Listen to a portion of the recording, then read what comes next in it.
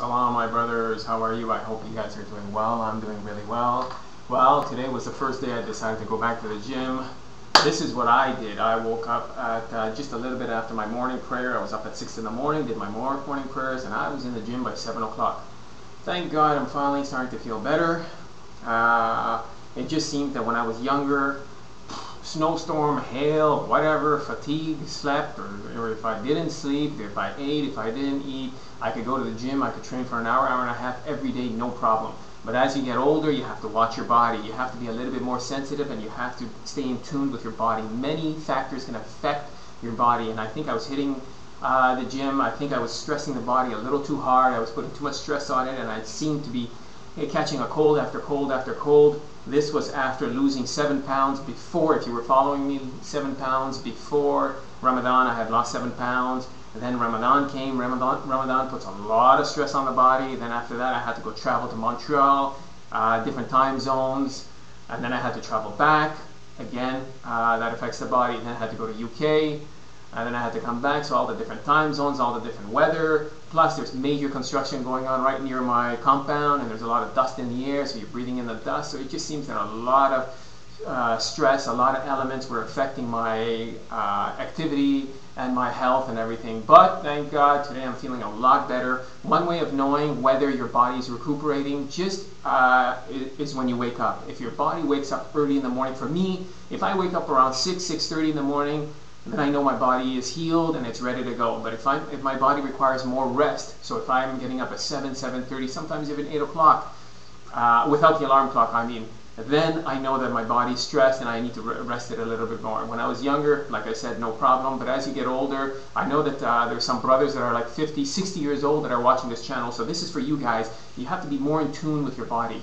So pay attention to your body. Stress at work too. Uh, I've been really, really busy at work this also is affecting uh, my health. So guys, watch your activity level, your stress levels, uh, your activity, what you're doing, tra uh, travel, time zones, sleeping pattern, this all affects your health. And uh, for the guys that are older, let's say 40 and over, uh, watch it. You might need to pace yourself. One way to help your health, if you find that it's taking a long time for you to recover, if you find that you know you're sore for too long, that means you need to increase your cardiac threshold. By that I mean you need to start doing a little bit more cardio. Cardio actually helps you recuperate quicker. So the best thing I recommend, what I was doing is uh, the last couple of days, maybe three or four days now, I've been walking anytime during the day that I can find time. So make sure you get 30 minutes and just walk. That's it. This just speeds up your, there's not to lose weight or anything like that, but this just increases your cardiac threshold. It makes you uh, a, a, little bit more conditioned. Your body starts moving everything around, the blood circulation and everything, uh, and it helps you recuperate a little quicker and it helps you heal. So if you're coming back from a cold or a, a flu or a virus or something, the best thing is to do is to walk. Walk 30 minutes at a brisk pace, and this will help you uh, heal. This will actually make you healthier. So this is what I've been doing today, this morning, 7 in the morning, I was in the gym, did some weights, did some cardio, I feel great. So this is my, uh, my point was sometimes you need to be in maintenance mode, especially when you're older. Uh, I'm going to be 42, inshallah, God willing, I will be 42 in two weeks. And I'm grateful, I still have my health. So uh, for you guys, you know, just pace yourself sometimes. If you're younger, don't worry about it, just go ahead and train, no problem. Uh, another thing I'm going to start doing is I'm going to start taking Tribulus. I've taken it before, it's great. This, what this does is it increases your testosterone naturally. So for you guys that have never tried Tribulus, go ahead and try it. I don't really recommend it for the younger guys. Let's say if you're under 30, you don't really need it. Your testosterone levels are already through the roof. Uh, but the guys are older than 33, 34, 35, if you feel your testosterone levels are low, this is a natural supplement. You can buy it anywhere, GNC or any store or pharmacy, wherever you want to go and it's plant-based, get the Bulgarian one, the Bulgarian Tribulus. I've used it many times, and a telltale sign, you'll notice it right away, by the way. If you take it the first day, by the next day, you'll feel it. A telltale sign of whether it's working or not. Uh, how do I put this without offending anyone? Uh, telltale sign is you'll feel that your libido increases. I'm not making this up.